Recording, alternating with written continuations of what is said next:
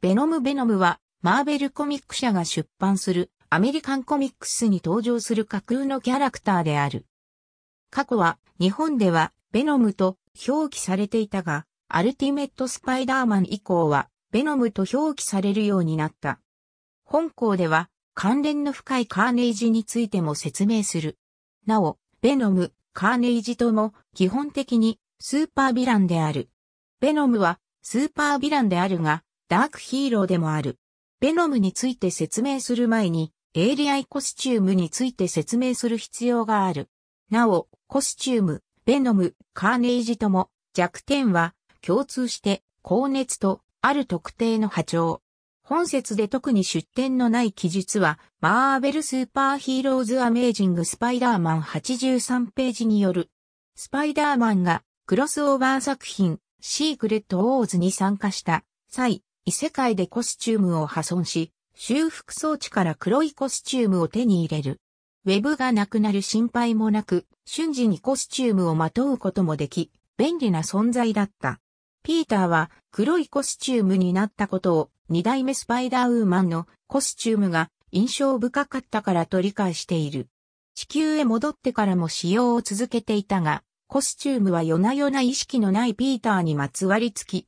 スパイダーマン化させ、行動させており、ピーターには不可解な疲労が溜まっていった。リード・リチャーズに調査を依頼したら、コスチュームが自我を持っていると判明し、ピーターはコスチュームを脱ごうとするがコスチュームは離れようとしない。コスチュームがある音波に弱いとわかり、音波で両者は分離され、コスチュームは封印された。しかし、スパイダーマンは元の赤と青のコスチュームには戻らず、ブラックキャットの手製の黒いコスチュームを着用することになる。後にコスチュームは逃走し、ピーターの下に戻ろうとした。ピーターは教会に行き、教会の鐘の音をコスチュームに聞かせ、コスチュームはピーターの体から離れる。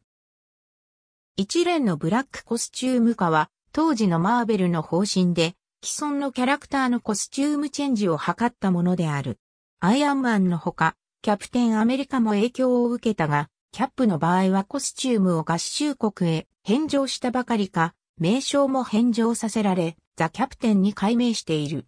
ザ・キャプテンのコスチュームは、スーパーパトリオットが引き継ぎ、US エージェントと改名した。なお、エイリアンコスチュームに関しては、以下のような別称がある。アメリカンコミックスの長期タイトルに見られるように、ベノムも代替わりをしている。ベノムの名前は毒に由来する。初代の本名はエドワード・チャールズ・アラン・ブロックでニューヨーク出身。デイリー・ビューグルのライバル誌であるニューヨークグローブの人気記者であったが、スパイダーマンによってシーンイーターと呼ばれる連続殺人鬼の誤報記事を暴かれ、職を失い、妻にも去られてしまう。エディはスパイダーマンを逆恨みしていたが、その憎悪を抑えるべく、教会を次々に訪問していた。共生体が休眠していた教会にエディが来て起きた共生体が寄生してベノムが誕生した。一人称は We である。本人は自らは善、スパイダーマンは悪という信念を持っている。ボディビルダーでもあるエディはピーターより体格が良いため、ベノムはスパイダーマンと比べて体が大きい。そのパワーがコスチュームで強化された結果、パワーだけならスパイダーマンをしのいでいる。もともとエディ自身は 320kg 程度の重量を持ち上げることができたが、ベノム化することでパワーは40倍になっている。コスチュームは保護色に変化し、姿を隠すことが可能。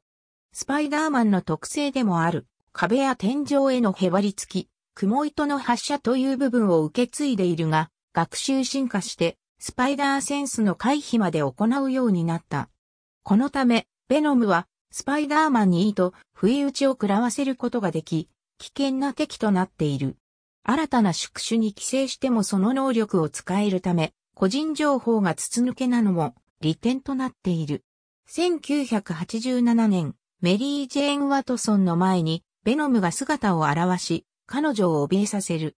1988年、スパイダーマンとベノムは対決し、エイリアンコスチュームは封印され、ピーターは赤と青のコスチュームに戻った。前回の敗北後、ベノムはスパイダーマンを南洋の島におびき出す。スパイダーマンは死んだふりでごまかしたが、ベノムは相手の死を確信し、自らの任務が終わったと思い込み、エディとコスチュームは島で穏やかに暮らすことにした。しかし、カーネイジ誕生の責任を取る形で、スパイダーマンと共闘し、以後は弱者の庇護者を自称する。一時期は庇護者としてサンフランシスコに居住していた。ワルに戻った後は悪のヒーローチームシニスター6に参加したこともある。この時はサンドマンと仲違いし、その命を奪う原因となった。後に、癌の悪化のため、共生体はエディから離れることを希望する。エディは、共生体を競売にかけ、ドン・フォルトゥナートが1億ドルで落札。ギャングの親玉である彼は息子のアンジェロに与えるものの、その臆病さに呆れ、共生体はアンジェロを見放し、空中で分離、アンジェロは落下し死亡した。なお、ライフ財団が共生体からスクリーム、ライオット、ファージ、ラッシャー、アゴニーの5体の人造共生体を作り出した。本節で特に出典のない記述は、マーベルキャラクター大辞典351ページによる。アンジェロの後、スコーピオンことマックガーガンは強制体の能力を渇望し、規制が実施され、新しいベノムとなった。ガーガンと一体化した強制体はさらに凶暴化し、犠牲者を貪り食うこともあった。シニスター12と共闘してスパイダーマンを倒そうとして失敗した後、シビル・ウォーではサンダーボールツ軍に協力し、登録拒否をした超能力者の追跡に参加。シークレット・インベージョンでスクラル人たちと戦った後、ノーマン・オズボーンが彼の指揮下にある新アベンジャーズへ移籍させた。凶暴性を抑える薬を与えられ、ノーマンの指示でスパイダーマンになりすました。マーベル・アベンジャーズ時点ではパワーレベルという項目があり、新ベノムの腕力は5となっている。スパイダーマンは4、マーベル最強クラスのヒーローたちは7である。友人フラッシュ・トンプソンは、イラク戦争に参加した際、仲間を救うために行動した結果、両足を失い車椅子生活を送っていたが、強制隊をマックガーガンから奪取したアメリカ軍から両足が戻ることを条件に強制隊の宿主となり、それ以降はエージェントベノムとして活動している。強制隊が寄生している間、強制隊が両足を形成するが、強制隊が宿主を凶暴化させる危険性から軍に強制隊と融合できるのは一度につき48時間までという条件を出され、監視下に置かれている。怒りは強制隊の破壊衝動に取り込まれる可能性があるため、フラッシュは常に冷静さを保たなくてはいけない。もしもフラッシュが共生体を制御することができなくなれば、軍がキルスイッチを押し、フラッシュが命を落とすよう仕向けられている。本節はマーベルキャラクター大辞典15ページによる。シンビオートと分離したはずのエディブロックが変化した姿。その色はベノムの黒に対し白である。能力はベノムに準じるほか、放射線を浴びた者に対して治療する能力がある。その名の通り、ベノムと敵対している。エディは、癌の治療法を見つけるためにシンビオートを売却したのだが、結局、癌は悪化し、死を待つのみとなってしまう。しかし、マーティン・リーのパワーにより、癌は一掃される。その影響で、エディの体内に微量ながら残留していたシンビオートが彼の免疫系と融合してしまう。そして、ガーガンとエディが対決した時、ガーガンのシンビオートがエディに戻ろうとするも、彼の肌に接触した途端、燃焼してしまう。それに触発されるかのように、エディの体内のシンビオートが活性化し、彼を包み込んでアンチベノムと化していた。アルティメットスパイダーマンでは宇宙からのシンビオートではなく、ピーターの父親がガンの特効薬として作ったゲル状のスーツであった。ピーターはそのスーツの管理者であるエディに黙ってゲルスーツを持ち出し能力を試そうとするが、ゲルの一部に触れてしまい共生されてしまう。その力に歓喜する中、ベン・パーカーを殺した犯人が逃走しているのを発見。犯人を捕まえるが、怒りの感情を抑えることができなくなり、ピーターは危うく犯人を殺しかけてしまう。ピーターはスーツを焼却炉に破棄したが、スーツの力に魅了されたエディはスーツを別の保管場所から取り出して、スーツと共生し、ベノムと化してしまう。スパイダーマンや、その後に制作された、スパイダーマン、アンリミテッド、スペクタキュラースパイダーマンでは、正体はエディ・ブロックである。上記のうち、スパイダーマン、スペクタキュラースパイダーマンには、ファンタスティック4が登場しないため、初戦からスパイダーマンは独力でエイリアンコスチュームを剥ぎ取る試練に見舞われる。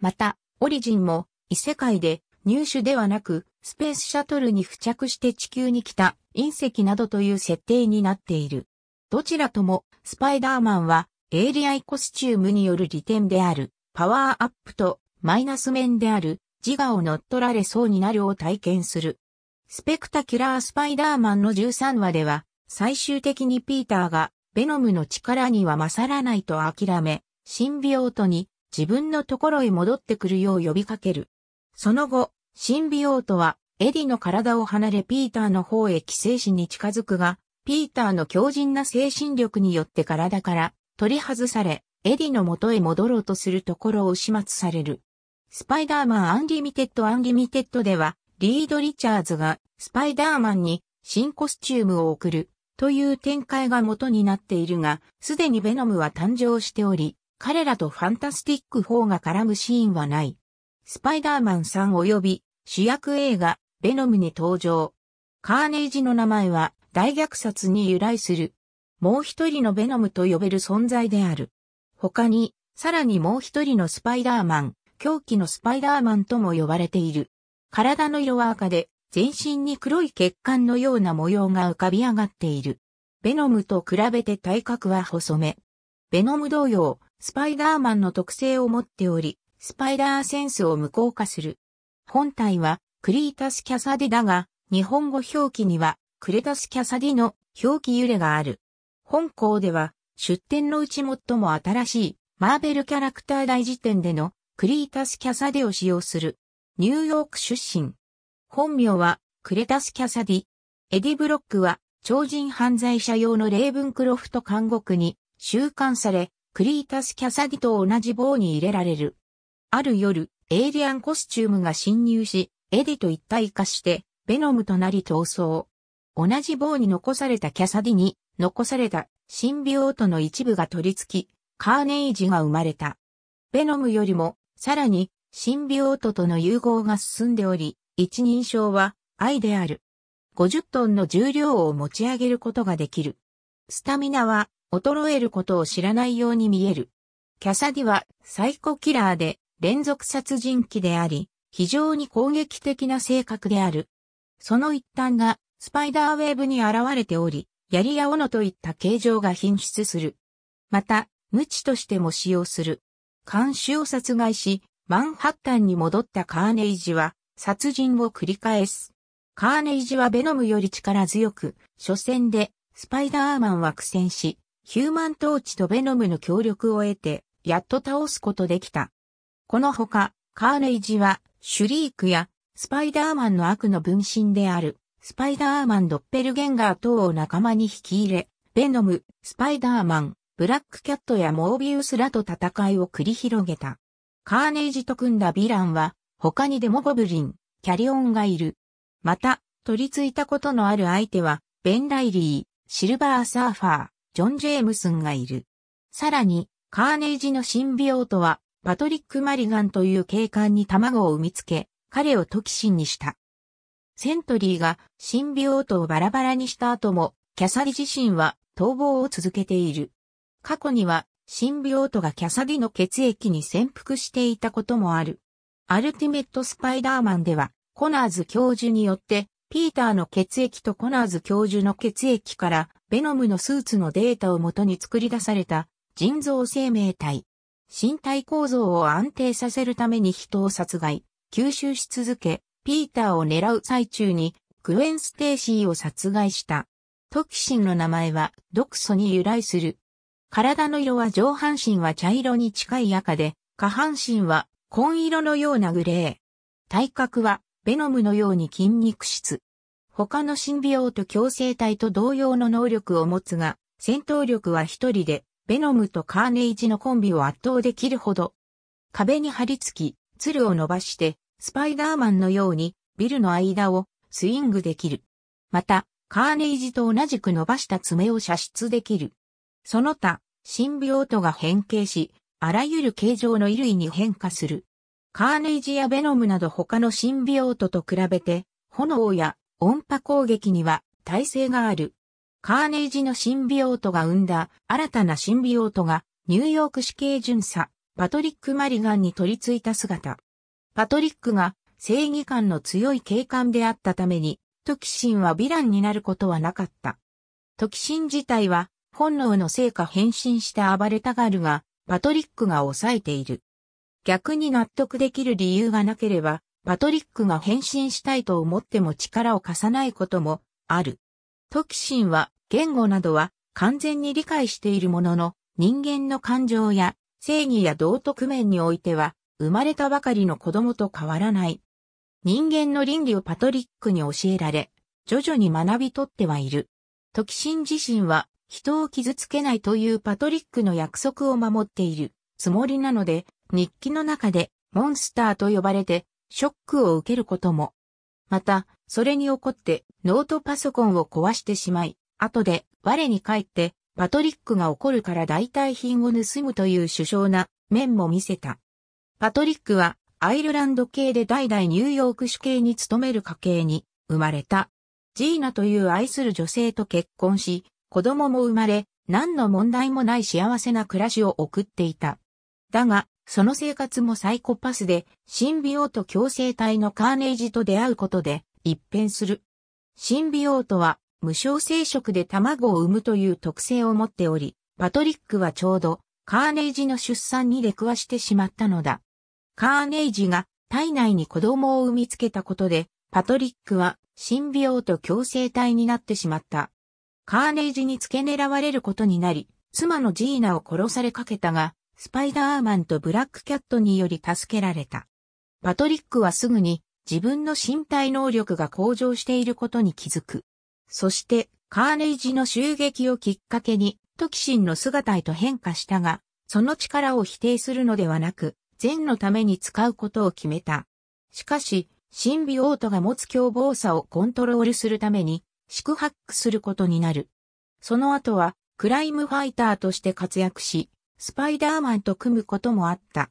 カーネイジが妻と子供を襲撃したため、彼は自分の存在が家族を危険にさらすことになると思い、理由を告げずに離別する道を選んだ。パトリックとトキシンが分離した後、トキシンのシンビオートはクライムマスターが所有。元ベノムのエディブロックと無理やり融合させられた。スクリームの名前は悲鳴に由来する。本名はドナディエゴ。キャンディミロが声を担当。吹き替えはジャフーリンが担当した。アメージング・アドベンチャー・オブ・スパイダーマンでは、ドクター・オクトパス、ホブ・ゴブリン、エレクトロ、ハイドロマンらと共にゲストを襲撃し最後には、ピーター・パーカー、スパイダーマンに敗れている。本作は、ニューアベンジャーズ、ブレイクアウトの tie-in。パトリックとトキシンは、超人刑務所ラフトからの脱走者を発見する、手伝いをするようになった。そして、キングコブラや、レーザーフィストらの強敵と戦うためには、トキシンの力が必要不可欠になり、その存在が大きくなり始める。その結果、パトリックは徐々にシンビオートをコントロールするのが難しくなっていく。精神的に追い詰められたパトリックはいっそ自殺してしまおうと地下鉄に飛び込んだが、トキシンシンビオートが抵抗したために生き延びてしまった。